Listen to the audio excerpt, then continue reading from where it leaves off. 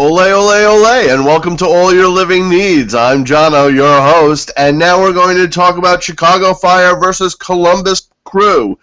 This game is taking place tonight at 8:30 p.m. August 2nd. Previous meetings saw Chicago won 3 and lost 2. Season goal leaders include from the Chicago Fire, Harrison Shipp with 6 goals, Quincy Amarikwa with 6 goals, Mike Magee with 5 goals, and Jeff Larentowicz with 4 goals. From the Columbus Crew side, we've got Federico Higuain with 7 goals, Ethan Finlay with 5 goals, and Bernardo Añor with 4 goals.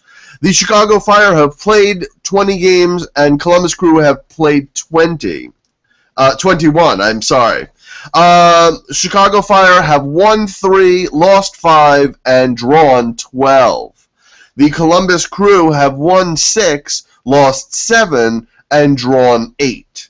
So, Chicago Fire, Wednesday, they tied 0 0 against Vancouver Whitecaps but showed a very, very weak defense as Vancouver had control of the ball most of the game and just wasn't able to put it in, which is partially a testament to Chicago Fire's goalkeeper, but also just a case of bad luck when it came to uh, Vancouver. Report uh, disciplinary report. No one is on the disciplinary report. No one is on the disabled list for the Chicago Fire. However, they are eighth in the Eastern Conference. Against Columbus Crew, they won against uh, New England last Saturday, two to one in a solid performance. This is what I like to see in a team. When team members work together, they get things done. Of course, the fact that they looked like a bunch of bananas on the field uh, is more of a question of what their fashion and style sense is than their gameplay. Disciplinary report: uh, Ch- uh, Tchani uh, and Trapp are one caution away from a suspension. Disabled list, we have midfielder Hector Jimenez uh, with a right metacarpal sprain. Uh, midfielder Kingsley Fifi uh, Baiden with a groin hip strain. Uh, Matt Wiet with a left ACL reconstruction, so he'll be out for a long time on that. And defender uh, Josh Williams with a left with a groin strain. They're number five on the Eastern Conference. So the predictions here for this game, uh, here we have a team on one side uh, that are on the edge of success. They're number five spot. They have the ability to move up.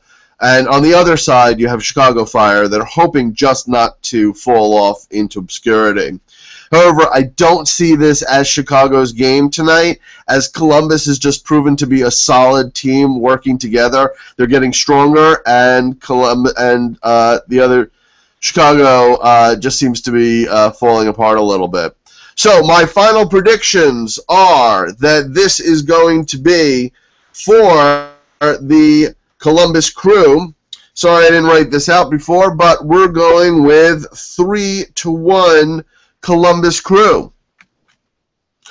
That's what I gotta say. Hey, uh, don't forget to subscribe, like, share, comment, everything. Don't forget about the contest. Uh, we got a great contest. winner pair of cleats. Your cleats, what you want.